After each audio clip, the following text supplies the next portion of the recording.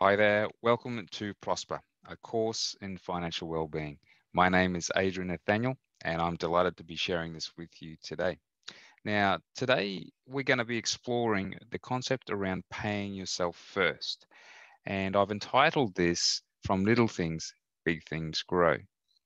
And actually, the other night I was uh, inspired by this uh, this little flick called The Ideal Palace, which which really demonstrated this.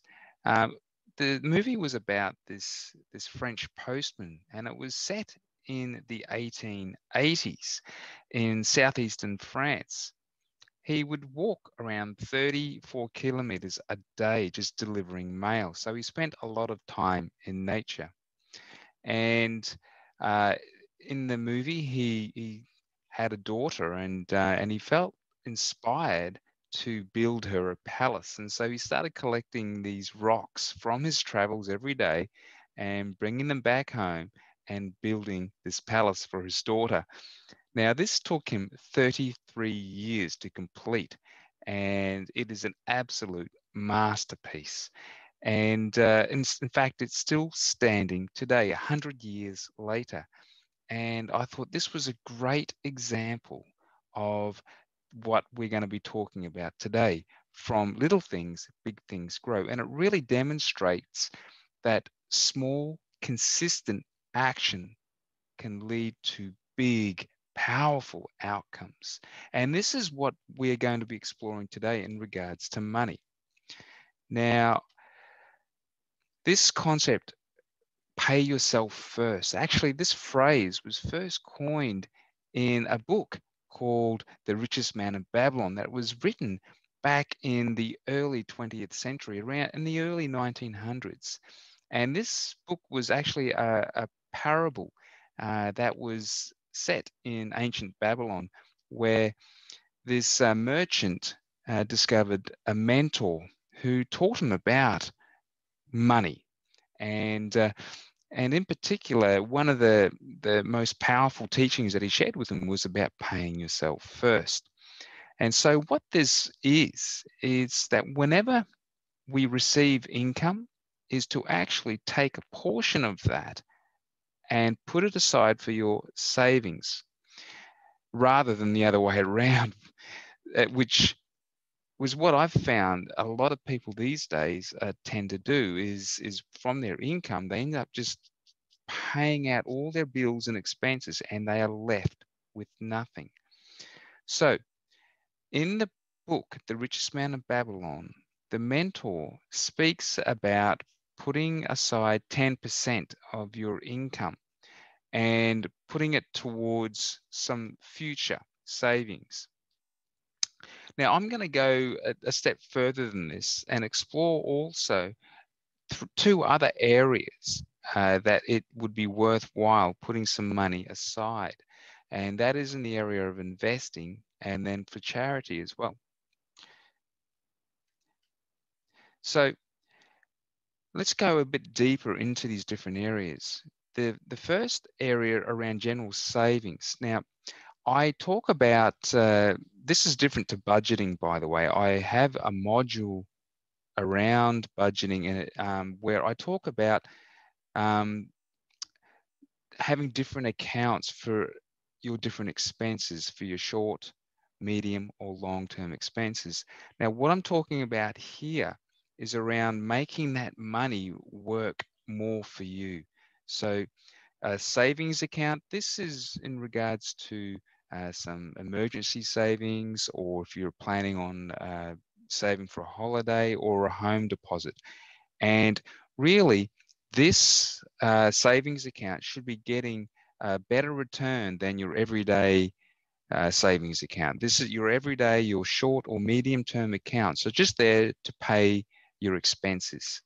Whereas your long term savings, it should be getting a better return than your everyday savings accounts. Then the next one up is an investment account. Okay, now this is is really should be getting um, 8% plus. And it, it is really about uh, making your money work harder for you. Because at the end of the day, the, one of the biggest, um, I guess, um, areas of, of concern with money and just sitting in cash is inflation. And what inflation is, is the ability of your money today to be able to still be able to purchase what those goods and services in two years time five years time or 10 years time. And with with inflation this reduces your ability of your money today to be able to pay for those sorts of things. And that's why we need to think of investing as well and the third area of um, that I've put there is around charity. Now, this is uh, traditionally uh, where tithing has come about, and about putting 10% aside for for others. And I'm going to go deeper into the power of that in just a moment. But first, let's look a little bit more around how this might actually work. This is an example of what paying yourself looks like. Let's just say you've got an income of $500 and you pay yourself first. Put that into a savings account. Could be an emergency fund, like I said, or holiday, or saving for a home. So, and then another 10% goes into towards your charity, something that lights up your heart, and then another $50 into an investment account. So that at the end, you've got $350 left to pay your, all your expenses. So let's have a look at uh, some different investment options for you. Now, with the uh, rise of technology, uh, there is a, a, number of different options out there now um, that can that make it safer and more comfortable for you to dip your toe in to the world of investing. And these platforms are around micro investing. So it's just investing um, small change, and uh, and then that way you can actually get um, uh, a feel for how investing works, and and you can actually start to then make your money work a little bit harder for you as well.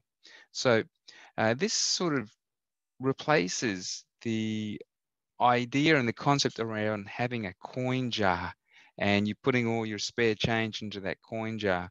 Um, once again, with inflation, uh, that money is probably going backwards sitting in that coin jar. Uh, and in like in 10 years time, probably wouldn't be able to pay for the same goods and services that you could when you first had it. Now, the micro investing apps and platforms that are available today are like a digital coin jar. And uh, so essentially with any digital transaction you do, it then offers you an option to round up to the nearest dollar and invest that spare change. For example, if you buy a coffee for $5.50, um, you can then round up 50 cents to the nearest dollar and invest it. It may not sound like much to start with, but over time, small, consistent action adds up. So here are some examples of different apps that do that. Uh, Raiz is one that has a number of different investment options and uh, and also has a carbon offsetting plan as well. It has an ethical uh, investment plan option as well, and uh, it's one of the the pioneers in this space as well.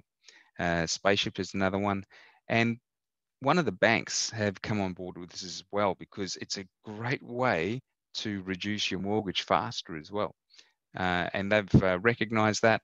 So ING Bank has an option where you can round up your savings, put it into the savings account, and either put that onto your mortgage or do anything else you'd like with that. Have a like your um, holiday or or your emergency fund. So there are some fantastic uh, options for you to start doing this straight away. Now, of course, it's wise to do this manually to get your a feel for how this works. But really, ultimately you want to start putting this onto autopilot. This is where you can really start accelerating.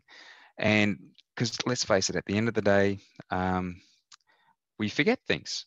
And uh, I know I do. And so when you put something on automation, on automatic pilot, it just continues that, that concept of small, consistent action over time.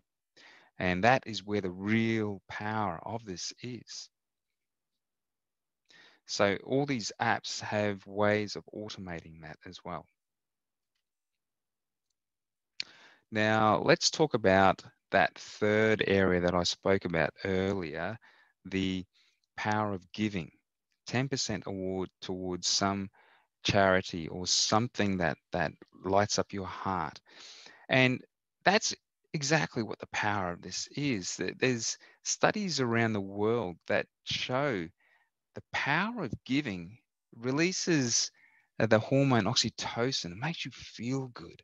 And in fact, there's um, there's other studies that have been done where it not only increases your sense of well-being, but it's it's contagious. It it it goes out to the world around you. In fact, there's been a number of uh, of pay it forward chains been documented around the world where one person would just randomly uh, gift something to someone else, and then that would completely light up the other person, and they would feel a flood of oxytocin through their body and want to do something good to someone else. And and so uh, this has also been documented on some um, videos known as random acts of kindness. And so this this um, inner sense of uh, of feeling great uh, is quite powerful. And the fact there's other scientific studies that show that when this power of the giving, this this generosity, this kindness, it actually is linked with longevity. People live longer and healthier lives when they add giving, consistent giving to their daily lives. And uh, the other thing is too, it's like uh, it generates a sense of of prosperity and wealth. You know, uh, it's like yeah, I feel like I've got enough to be able to give, and and that inner cultivation of inner wealth is just as important as the outer external practical aspects of money as well. I believe you need both. You need to start cultivating both the inner sense of wealth as well as the outer, more practical aspects. When you combine both, prosperity naturally arises. So there are also some great platforms and apps that help you to similarly round up and and start giving to charity in a similar way as the investing micro investing apps. Here's some examples here: the My Charity Change and GiveTide are some options that you can use to start giving, but at uh, where you feel comfortable. So ultimately, I'd like to leave you with this little quote here, which says, financial peace isn't the acquisition of stuff. It's learning to live on less than you make so that you can give money back and have money to invest. Ultimately, you can't win until you do this. That's from Dave Ramsey. And uh, there's a lot of truth in that. So uh, if you'd like to find out more about this or get in touch with our community, feel free. Here's some uh, links to Facebook, Instagram, and LinkedIn. And here's my email address and phone number. Feel free to get in touch if you have any questions about anything that I've spoken about here today. In the meantime, much love and prosperity to all.